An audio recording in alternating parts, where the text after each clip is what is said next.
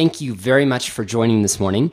I'm Matthew McCullough, and I have Brent Beer with me here in the background, offering tons of uh, advice, inputs, and questions as we go through these materials.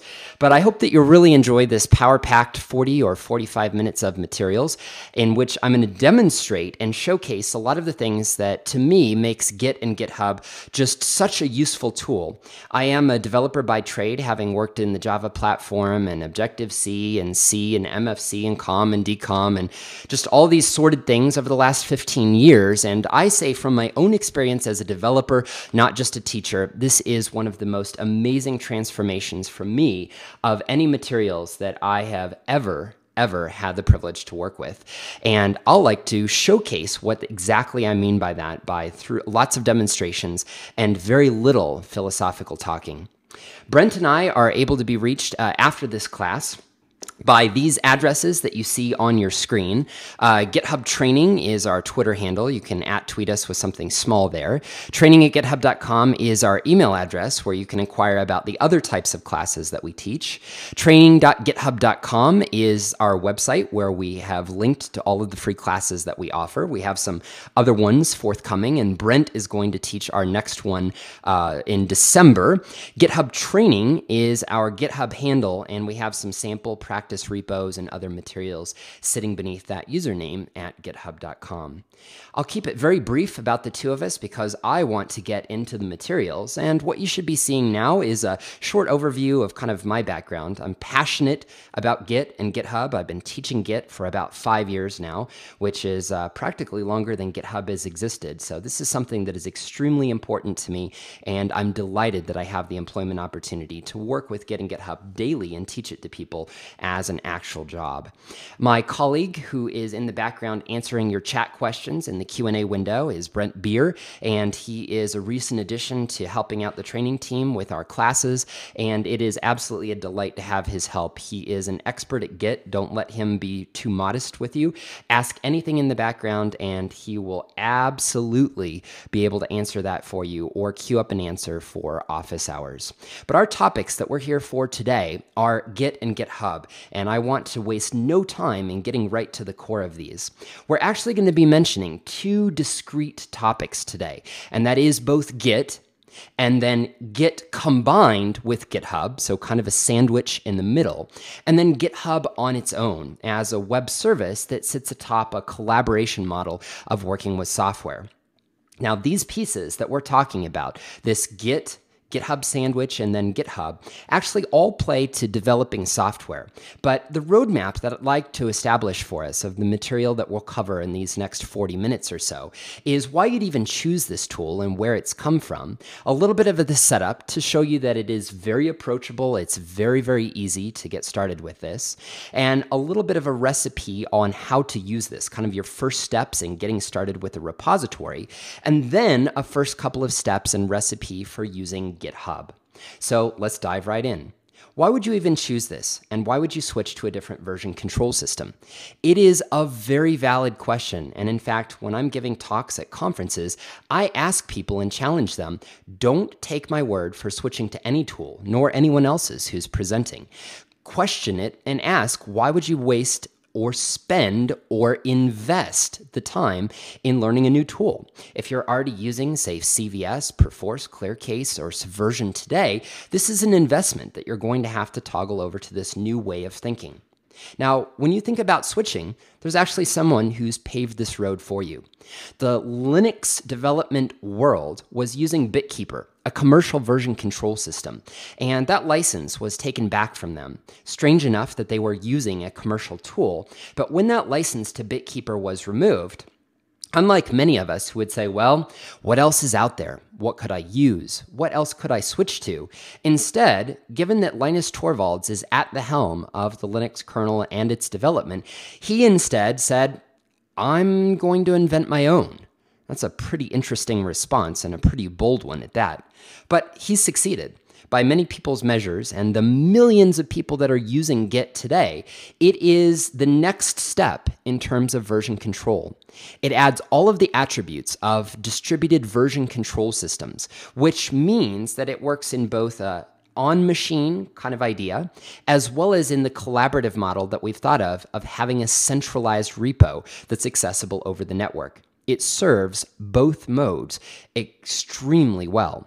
Now, I'll actually speak very politely of all these other version control systems that I've used in the past. I've generally had a pretty good experience with Perforce and Subversion, ClearCase, CVS, PVCS, these things that I've used in my software development career, but I'm still very open minded to switching to something new if it has a lot of new benefits, features, performance, speed, and matching with the software development models of today.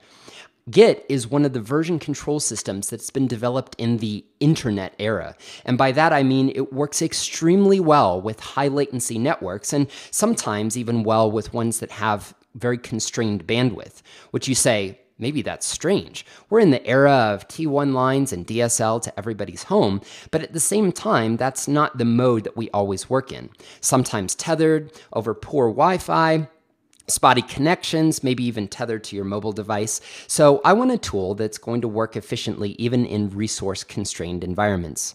By that, I mean that it has a very small footprint, both on disk and in memory. I'll show you that actually firsthand. And I'd also state that it's simple. People have a very argumentative state about me uh, mode of responding to me saying that this is a simple tool. But what I think they mistake just like, let's say, the world of cooking or any particular sport, is that it's simple to get started, but there is a massive battery of materials that you can learn. In fact, five years in, this being my primary job, there are still little things that I learn about Git each and every month. So we'll start with the basics, and you'll believe that it is indeed simple, but you'll also say, oh my goodness, there is a wealth of features and skills and tools that can fit into this that I could learn over the next couple of months and years. The last little piece actually comes from its Unix and Linux roots. That is, that these small programs are composable. Git is actually built of some very, very small programs that work cohesively together to create the appearance of a suite of tools. This means that since the little pieces are still exposed to you, if you're a person who likes to build up new ways of using tools, new recipes, new order and sequence of instructions, you can compose these with a batch script, a bash script, a Z shell script, a PowerShell script. These would all be ways to write your own new Git instructions. Now, with that little intro as to why we're using this, I'll immediately point over to setting up Git because I would love for the fact that the hour after this class was you just getting this all working and running your first few practice repositories. And I'm going to give you everything you need to make that possible. Setting up Git is really just running an installer, but even more raw than that, you could actually just copy and paste the binaries onto your path environment variable. I'm serious. It doesn't necessarily need registry entries or some invasive putting itself into the key store. You could literally just work in a portable mode with the binaries being on your path. No administrative privileges required. Now, the installers make it pleasant, and there's an easy enough place to get the help to do that. We have a page that we all at GitHub maintain that shows you how to actually set up Git for each of those platforms, and you can find that right at the top of help.github.com. The reason that I point out to that is we're constantly updating it and maintaining it for the new dot releases and the little differences that come up for the newest versions of Windows and Mac OS and Linux. So that's your home page for getting the step by step and screenshot by screenshot set of instructions for setting this tool up. Now, I've actually got this already set up on my machine. I've used one of the installers to accomplish that, but I want to show very, very early over in my terminal window, clearing off this terminal screen right over here and typing git dash dash version to show you that I'm at version 1.8.0. I'll emphasize again that while part of my demonstration today is going to be in Mac and part of my demonstration is going to be on a live running version of Windows, this actually serves the star Nix, Linux, Unix community very, very well. That's its home, that's its roots, that's where the copies of the new versions are first published, and then quickly thereafter, sometimes hours, sometimes days after, the Mac and the Windows versions uh, emerge from that core Linux distribution. So there's my test. I have Git up and running, but you ask, what could be next after that? Well, we have to use it next. And literally, I mean, that's all there is to actually getting Git running, running the installer, going to your command prompt, and then firing it up. Now, many of you may already be asking, hmm, uh, GUIs, you know, I'm going to prefer to use this inside Eclipse or Visual Studio or a standalone IDE. And I'll show you some of those options as we proceed through this webinar. But I want to start by again emphasizing that this is a command line tool. Now, that is not to say at the detriment to any of the GUIs, but it is absolutely a command line tool from a scriptability standpoint. And that's important. As you work more towards a continuous integration and continuous delivery model of shipping your software, you will appreciate that the command line is a first class citizen, not some sort of afterthought that has a horrible API. It's the core of Git, and the user interfaces simply leverage that command line interface, and in general are very consistent because the power of the tool starts from the command line itself. Now, we need to create a Git repository to do something actually useful with this. And this is an absolute inversion of the usual way of thinking about version control. Because if you have a small project, let's say the little ones that I start up all the time, uh, maybe a little class series of class notes, maybe a small book or pamphlet that I'm writing, maybe an article for a magazine, maybe even some documentation for a software project. The model of yesteryear for me was to send some sort of ticket in a ticket tracking system and ask a privileged administrator to create that repository. But in this case, I'm going to create this repository locally and then find a place to put it on the network, whether inside our company firewall or perhaps even on a public service like github.com after the fact. I can switch the direction of this creation and then later publishing, and it will preserve all of the history that I create locally when I later push it to the network for the very first time. Let's head back to our command prompt, and here we are sitting again after having typed git dash dash version. And we'll clear off our screen once again. We're going to type a few instructions here. And the first one that I want to do is git init and I'm going to call this project one. When I've typed git init project one, I have done something pretty impressive, which is to instantaneously create a local repository, but with no server or any daemon running in the background. There's nothing in the background. It simply used the file system to create a top level directory called project one, and then a nested folder beneath it called .git. Now I'm going to cd into that project and I'm going to show you that by default, dot folders on star Nix systems are hidden. They're kind of considered a control structure, but that's no reason for us to hold back on peering inside what's in dot .git. Now, you might think for an introductory class, you'd say, would you ever poke inside the control structures of a version control system? But I encourage you to do so because they are quite user serviceable. I'm going to pipe this through more to show you this contents here. It's, uh, it's a small set. Wow, it didn't even have to run off the end of my screen. I have .git, a folder, with some files in it called head, config, description, a series of files that are called hooks. Those are lifecycle management kind of instructions that I can hook into with Ruby, Perl, Python. Uh, I could even hook in with Groovy or shell scripts or batch files and have it do special behaviors at the time that I write commits or update my repo. I then have a series of directories, info, objects, and refs, and those are where the actual data for the commits the version controlled time stamped copies of the repository are to be stored. So this is the control structure. I'll already emphasize if you've come from CVS or say Subversion that there is one and only one .git folder per repository, and it is at the top level of the project. It does not repeat .git directories down all of your other folders. And in fact, if you ever wanted to ungit version a certain directory or project, just delete the .git folder. That's it. There's nothing more. There's no other tendrils. That's it. So for the moment, here at our macOS terminal, but these instructions being consistent across any prompt that you type, Gitinit has created a repository. But clearing off my screen, I don't have any files as of yet. In fact, typing git status will let me see that I'm at the initial commit on a default branch that is called master. I have nothing to commit at this point because there's no files in here yet. So let's remedy that. Let's open up a text editor. Let's open up our TextMate editor, my in my case, or any text editor that you like, against a file that I call first.txt. And I'm going to bring this onto your screen here in just a moment. We're going to drag this on as a visual text editor right over here. And I'm going to put in some lorem ipsum text into this file. So file and save, and I've written out this text. And now what next? Well, we'll ask Git what it thinks about the status of this current directory.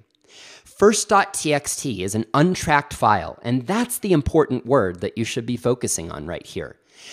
Git tracks content. Each time that you type git status or you refresh one of the GUIs, it is in fact examining the current working directory and all of the directories beneath it to see if any files have either been modified or have appeared that it has never seen before.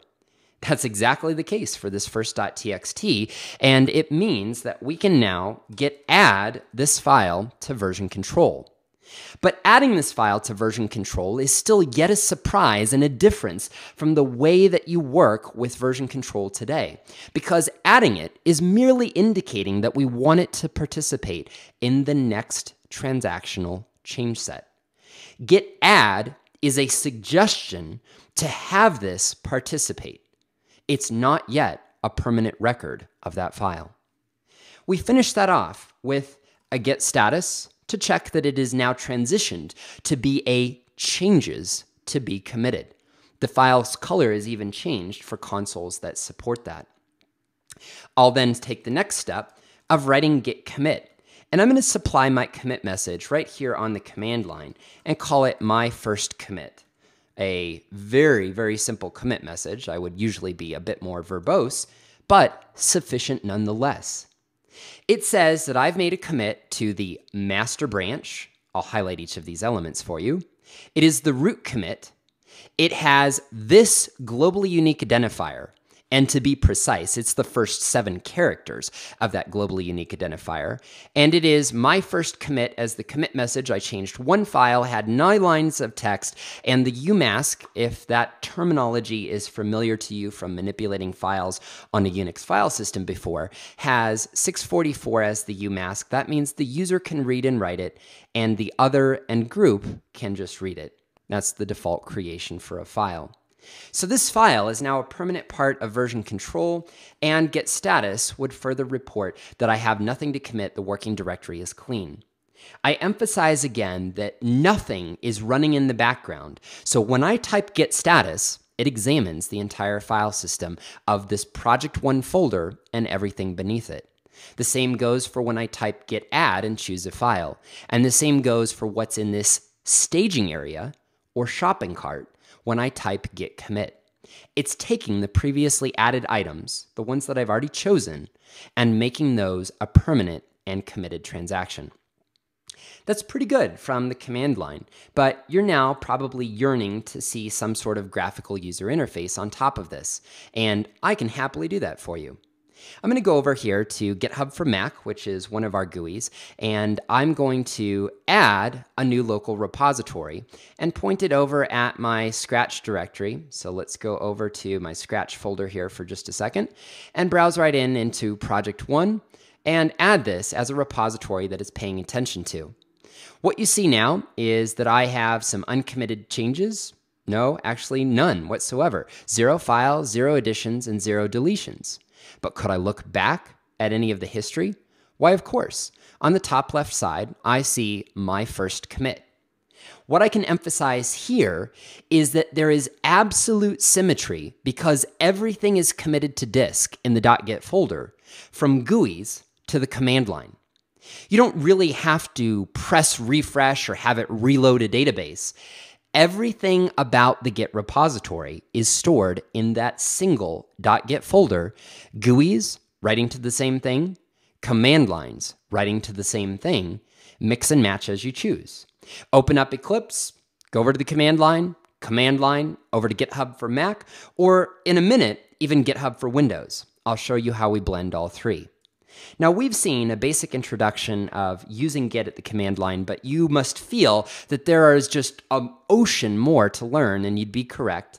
And what I very delightfully can point you at is that there's a free book to guide you through probably about a couple of months worth of study if you wanted to actually put that much effort into knowing all the intimate details of this version control system. It's pretty fun when you can point at a high quality free book, and this one is written by my colleague Scott Chacon at GitHub. I've got all of these reference materials linked up after the webinar in a URL that I'll put back into the chat room again. I did so right before the webinar started, and I'll do so at the closeout of the webinar again. But gitscm.com slash book is a really well-written introduction to this version control system.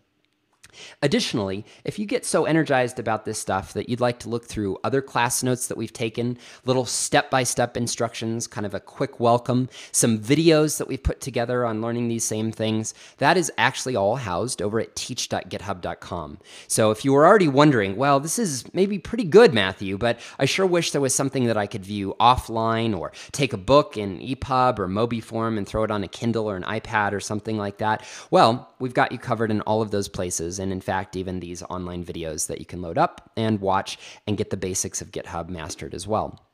Now, we need to do something on the GitHub side. It's about time, but it's intentional that I left it this long before we actually involve the network whatsoever.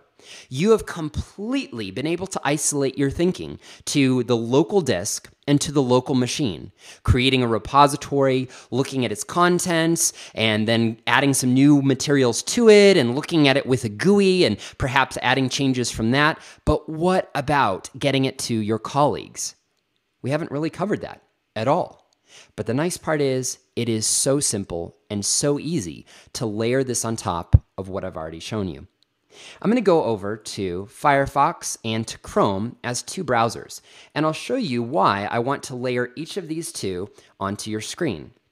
Now, I have in this upper left-hand corner, I have Firefox, and in this bottom right-hand corner that I just drug onto the screen, I have Chrome. Why am I opening up two browsers, and why am I showing it to you in this way? Well, in the top left, I'm signed in as a GitHub trainer. And in the bottom right, I'm signed in as a GitHub student.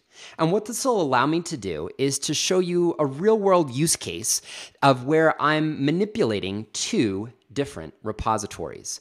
One is kind of the, the boss or the owner or the manager or the director or the senior engineer. And then in the bottom right, acting as a student for how would you join us? How would you help out with one of these projects? How would you collaborate? How, if you found an open source project up on GitHub, would you be able to offer your contributions to this project? Well, that's exactly what I intend to show you because open source really is a collaborative effort and it needs your help. So what I'm going to do is I'm going to go through the motions of choosing a repository that this trainer owns on the upper left, Hello Git World. And on the bottom right, a project that you might want to join, that you might want to collaborate and add yourself into. And what I'm going to do prior to this, that's what I'm ultimately getting to in about five minutes, is to show you how to preserve that work to close out our thinking, to preserve the work of Project One. So, two different modes that I intend to showcase.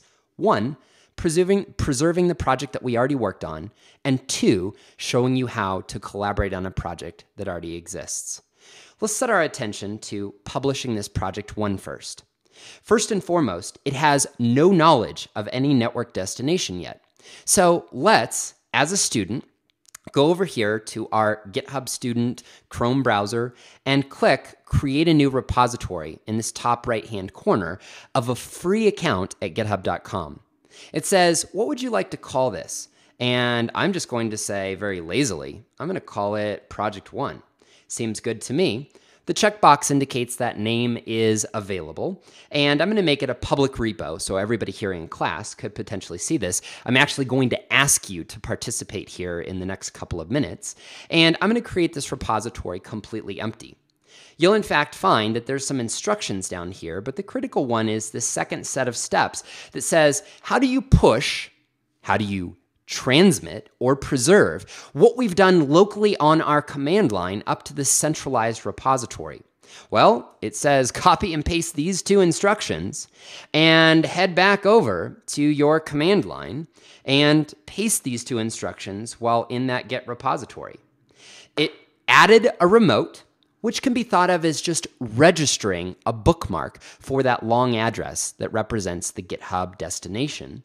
And then it pushes, which is Git's verb for transmitting the contents of the local repository to some other place over the wire.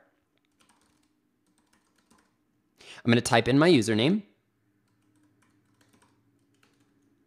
and my password. And that repository has now been transmitted, and you in fact see that it says a new branch, master to master. That's been transmitted, and in fact, it is so quick that if I simply refresh the view over here, you see our first.txt showing up in the browser. Now, what's also important to note is that it says it was authored nine minutes ago, but but what? I just pushed the contents of that repo. It preserves and maintains the timestamp and the order and the people and usernames of the work that had been done on your local disk when you push. You can think of it almost as just synchronizing. It's already captured all of the data for the commits, the transactions, the changes to code, the who did it and when. And when you push, it simply is synchronizing those local activities up to a central repository. All right, we can kind of clear our heads for just a moment of preserving our project one. Let's change modes. Let's talk about working on joining and participating in a project that already exists. Hello Git World needs our help. So someone emails us an address to this and said, uh, GitHub student, could you help out potentially with this Hello Git World project? And I say, well, sure, of course, but I have a little bit of a problem. You haven't given me any privileged access to work on this repo just yet. I see that I have read-only access to this repo. Hmm, so, what do I do? Do I ask for authorized credentials to be able to change this? No, I don't. In fact, on many open source projects, it's upside down. You simply begin helping and then later ask for the privilege for your code to be folded in once you've completed it, or at least made a meaningful enough contribution to start to ask for inputs or code review. So, as the student, I'm on this global repository and I'm going to click fork, which allows me to make a copy of it to my personal namespace. I'm getting a full photocopy of the repository to my personal account. Now, many people of 10 years ago would call this extremely rude. Oh my goodness, he's now taken a personal copy and he's going to do whatever he wants with it, which means none of the value that this student creates is ever going to go back to the central repository. Well, that's not true. Because as soon as we start making changes to this, I am going to offer them back to the core project. I'm going to grab this address, copy this to my clipboard right here, and I'm going to return to the command prompt wearing my GitHub student hat. I'm going to step back out of project one because we have put that one behind us, having preserved it to github.com. And I'm going to type git clone and supply this address.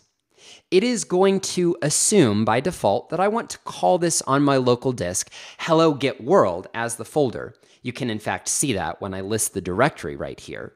And as I change over to hello git world, like I did right like like so with the CD, I can now ask questions of this repository.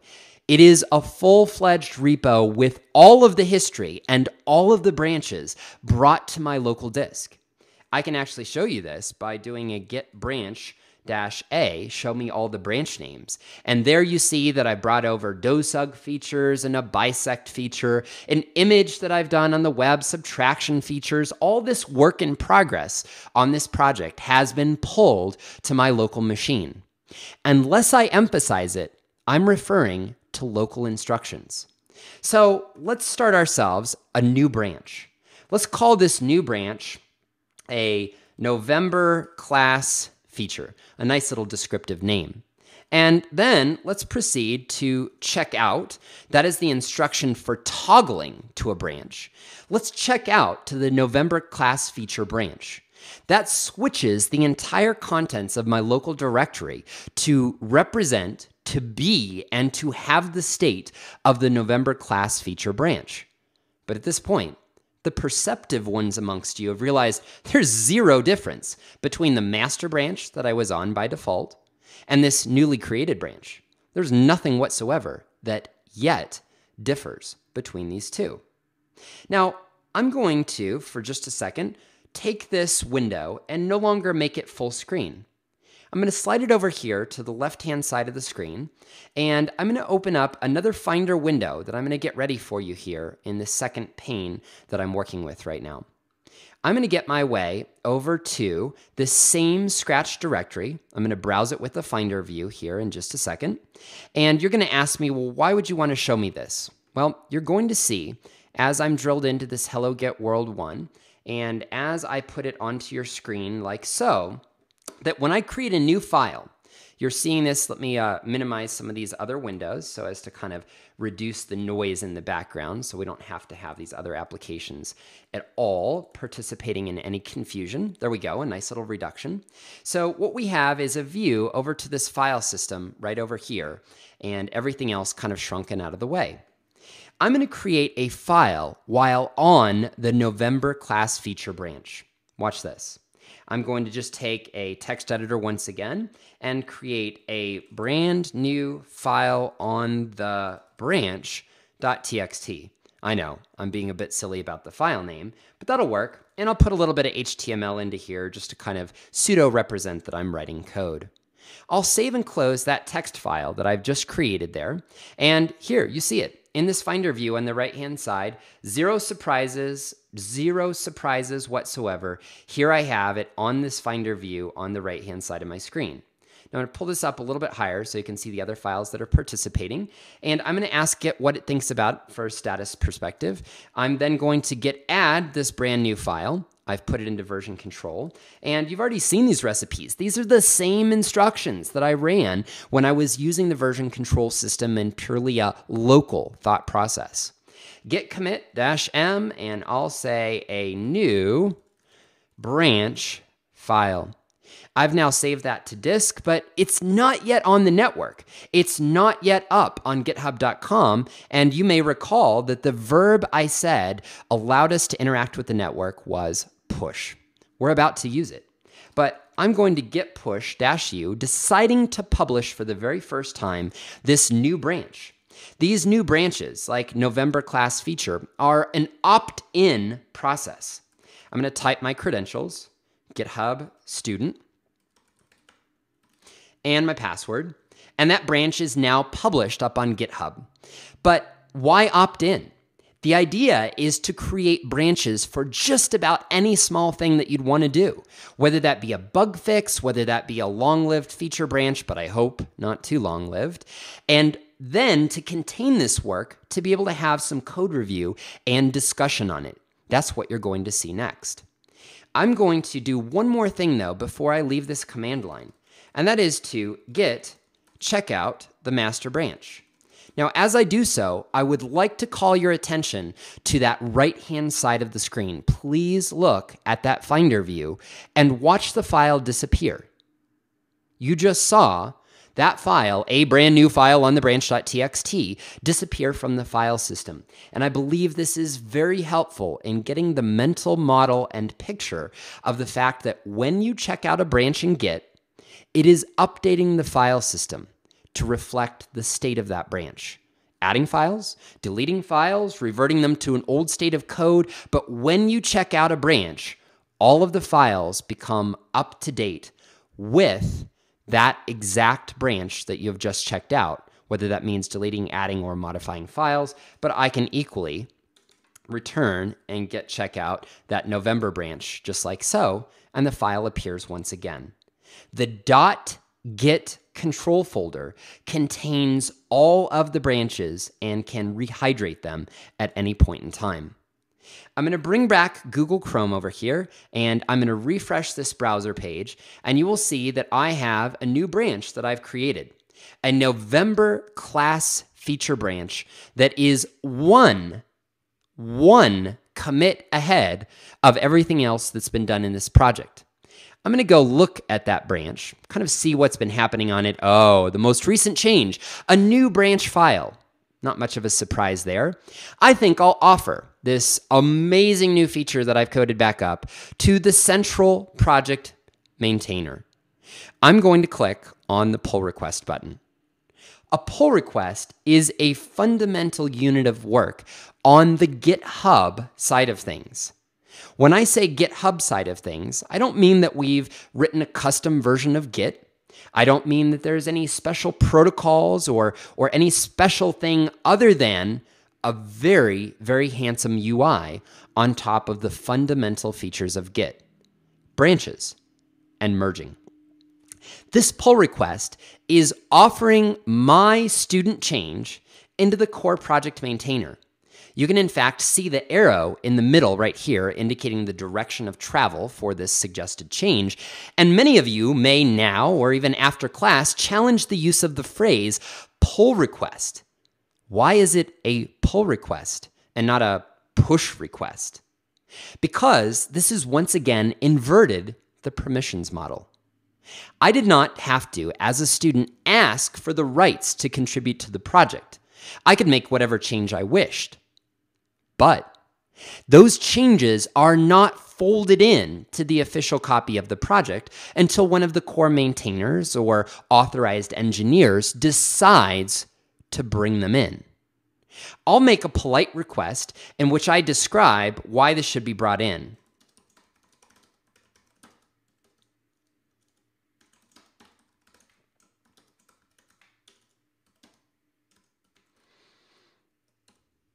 So, what I've just done is I've written out a quick little description. Of course, it could be a bit more technical as to what I'm offering to the core project maintainer.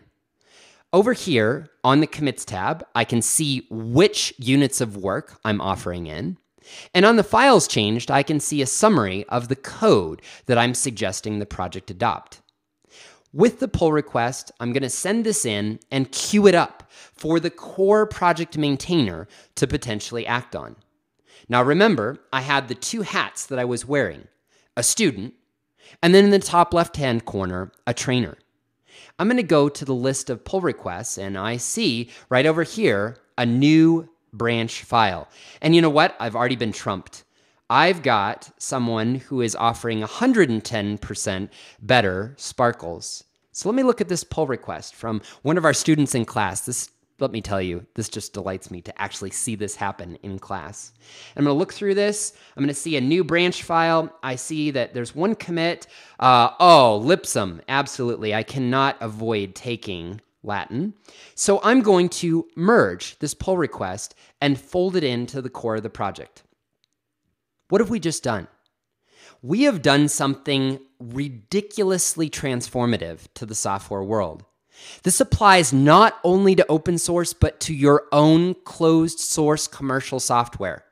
This means that people who before were kind of on the line of, you know, should we give Matthew access to this project? I don't know. He's not really that familiar with it. Stop having that discussion. Give the core set of engineers direct access to make changes to the code, but give everyone else this privilege to issue pull requests. There's a governance, there's a opportunity to review and discuss, and these changes then have a nice little gate to control them going into the core of the project. You can reject them, you can approve them, you can see if they're good changes, you can even have an analog debate with these contributors. Let's say, for example, I want to argue with myself and my other hat that I'm going to go back over to this right box and say, not quite what I hoped for, but with a few more hours of polish, this could work. That is an analog response that is so important here because rather than outright rejecting the change, I can fire a message back over to the author of this pull request saying, I really appreciate what you did. There's a few little things that are keeping me from accepting your contribution, but if you could make these changes, I'd be happy to accept it. And so that GitHub student could return to the command line and open up uh, that text file that they were making changes to, and they could insert that additional little bit of changes that was requested by the code reviewer. They could save those, they could add those to disk, and they could commit those, polish, that'll be good enough, and they could push those changes back up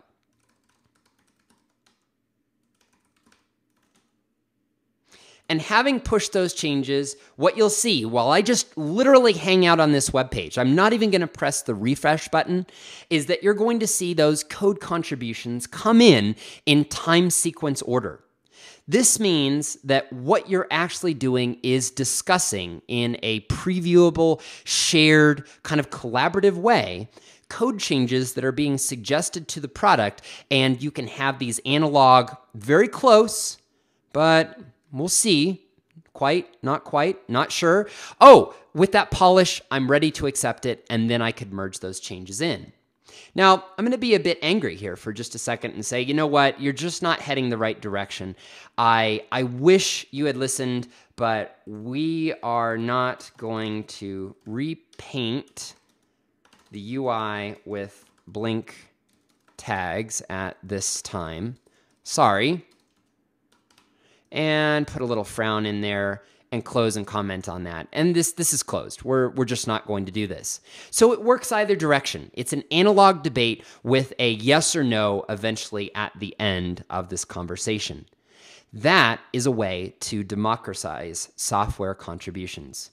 Now you've seen an awful lot of demonstration and what's helpful is to say that even though we only peered at one of the GUIs, I'll poke at a few more and show you what they look like, that there is just an ocean of choices of graphical user interfaces for you to choose to accomplish exactly the same things that I did from the command line. Now, why show the command line, Matthew? Because like learning a language, you're finding out the nouns and the verbs and the exact addresses that you're working with. And when you transition over to a GUI, I think it will be exceedingly easy because you'll know what belies those button pushes. What is a push doing when I click the push button? What is a clone doing when I click the clone button? And you know the answer to that now, having seen it from the command line. You've seen me on Mac, but you haven't yet seen me on Windows. And now's the time for me to toggle over to my Windows instance that I have up and running.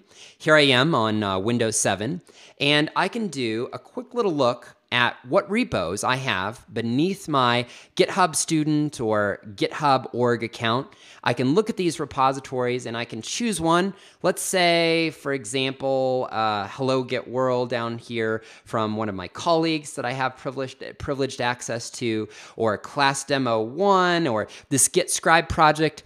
And a quick click of the clone button brings that down to my local machine. Look at the process, look at the progress there. It'll save it to local disk in exactly the same format and compatible format as if I had cloned this from the command line. A project directory, and then a .git folder beneath it to house that data. I can even then jump into that project, open that repo, view the history, see what's been happening to this lately. You can see this one is much richer than just the Matthew and the student participation. Here's Scott and Nick Quaranto participating, some other folks like uh, Chris Strom also contributing to this project. And this is the same kind of participation, but in a purely GUI sense. And this is our GitHub for Windows client, but you now know what belies those button clicks. And to me, that's extremely important.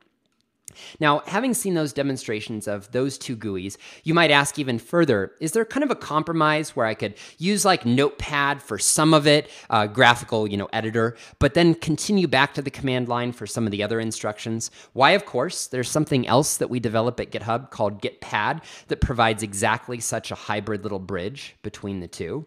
And there's also a first-class citizen. If you work in the Java space or anything else on which uh, derives from Eclipse, Eclipse, the IDE, has a first class plugin called eGit that now shipped with this summer's Juno release. It is the default version control system for the Eclipse space and now ships with the Java distribution. So you bet Visual Studio, likewise. There is a Git extensions that works with Visual Studio and plugs in and offers the same kind of right click checkout functionality that you've been seeing me type longhand, but instead gives it to you inside that Visual Studio 2010 or above IDE. This model that we've been talking about for collaborating, whether through a GUI or through a command line, and then using that web page kind of view into what's been happening with the repos, has a formal name. And we call that social coding. I think that's embodied by the fact that you're getting more people to participate and review rather than fewer. And it operates on this fork and pull model something that maybe some of your friends would say, oh, forking, that's bad. You're taking your own copy of the repo and doing with it as you wish. That's probably the downside. But the good side is when you offer those changes back in and they become an official part of the project, thus nullifying that complaint. If you needed a picture to kind of put this into a diagrammatic form, it would look something like this. The ability to have anybody take a read only hence the gray lines, copy of the repo, to pass those up to someone who is privileged enough to do the code review, to fold it in and to have a discussion with perhaps the one or several people that are the project owners, and to have the purest of those contributions folded in to the official copy of the repository. Nobody had to be granted privilege of being able to clone the repo in this model.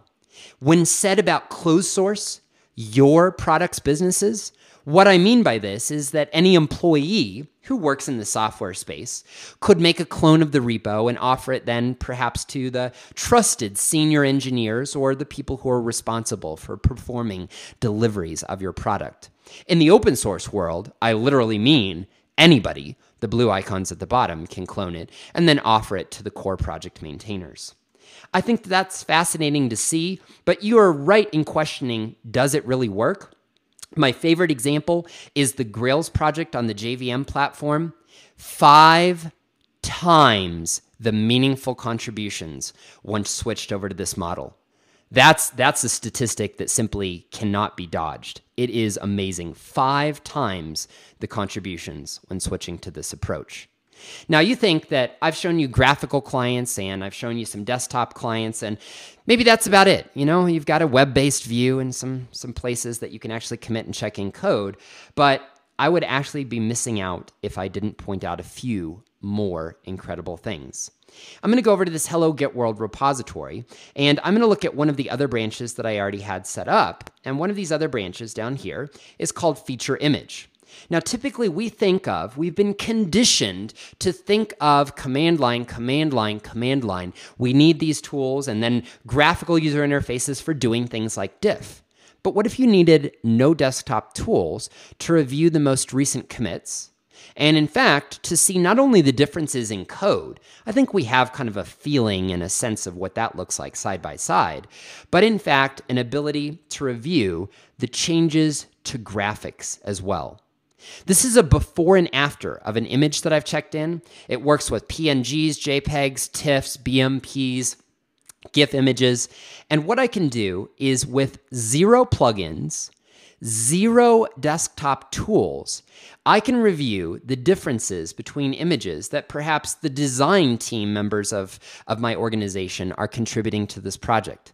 I can even run a difference engine to have highlighted small things like a copyright logo or a trademark symbol that was moved from one corner to the other. And I emphasize you're doing this with zero tools on your desktop. This is a purely web view. And I think that that is transformative because people were, oh my goodness, kind of burdened with the what have I got to load to be a productive developer on this environment? I've got to load this desktop tool and that desktop tool and a diff engine. Got to register that, make sure it's hooked into Vert. Just view the web view and get the majority of the things that you were previously doing on a desktop set of tooling. If you're in a place, an organization, a business, or an industry that's constrained, that is not allowed to put this kind of stuff on the web, maybe you're both excited to contribute to open source, but then you're frustrated because you're never going to be able to use this at your job. And I will tell you that's not the case at all. Many US and foreign government agencies that I've uh, had a delight to be able to teach, many medical institutions and financial institutions run their own copy of Inside their firewall with GitHub Enterprise, thus nullifying any concern of using this .com that I've been showing today. A whole on-premise copy of everything that I've shown you already in today's class. Now, as a last step, I'll mention that this is just an introductory piece to Git. There is literally, I want you to feel there is literally months worth of learning ahead.